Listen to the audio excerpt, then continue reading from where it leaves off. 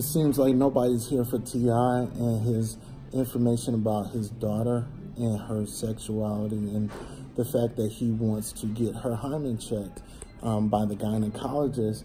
Um, she is of age, however, he is so involved supposedly in his daughter's life. He did an interview at the Red Table Talk with Jada Pinkett Smith um, with Tiny without the daughter Deyjah and her mother there as a person that is actually going through that. Um, she's feeling her father is controlling. She liked posts that were actually against her father and really calling out her father's control issues. Um, she unfollowed him and Tiny on Twitter. Um, things like that is letting you know that the girl is not happy with being talked about.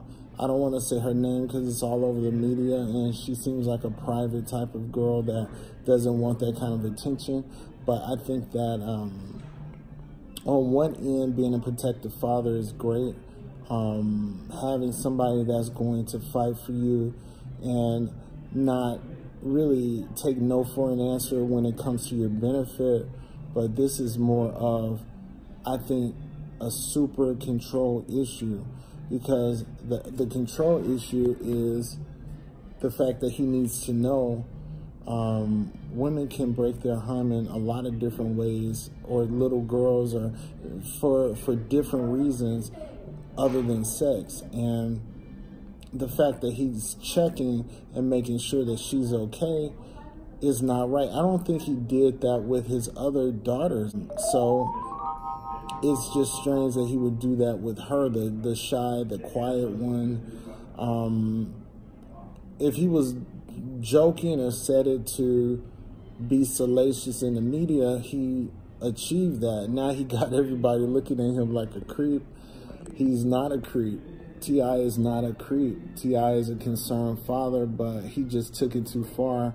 And he needs to understand and, and admit that um, even if he was doing it, he shouldn't have told the world that he was doing that because obviously it was something that Tiny was accepting of him doing, um, being that she was in the household with him.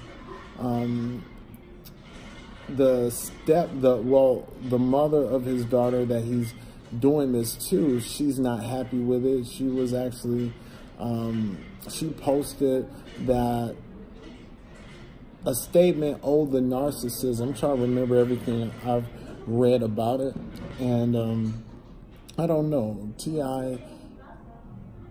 is hypocritical in a lot of different ways, but so is everybody. But he has a way of saying things as if he has not done something wrong or made a mistake. Um, not owning up to his problems and owning up to his failures or things like like that. He needs to just focus on raising his kids the best way he can so he can trust them. That's that's what it is. And I, I don't think it's that he doesn't really fully trust her. I think he can. Um, he's doing it because he can and she seems like she had the kind of personality not to protest. She's not to go off on her father and yell at him and say, I'm not doing that with you, man. you know, um, I think that if he would have, like, phrased it a different way, if he would have not even went that far, I mean, he can just ask her, have an open forum with her, are you having sex? That's basically what he wants to know. But I don't think she'll ever have sex now based off of just this type of control is kind of like emotionally damaging to someone. And if this was a violent situation or if this was a pedophile, if this was a person that that took a girl off the street and violated her body this is not the same thing, but it sounds close to it. Having a father have examinations like clockwork of, of his daughter to make sure she's not having sex. That's a personal issue that he had and has. Um, I hope he learned his lesson. He's not doing nothing criminal. He can do anything within reason that he wants with his kids, but this is a person that's of age um, legally. So let me know what you think. Um, is it okay for a T.I. to have his daughter examined to make sure she's not having sex or has not had sex? You let me know. My name Darrell.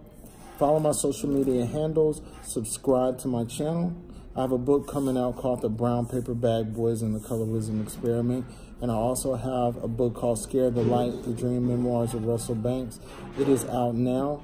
Um, go to my website, scareofthelight.com, so you can be a part of the contest and things that we have.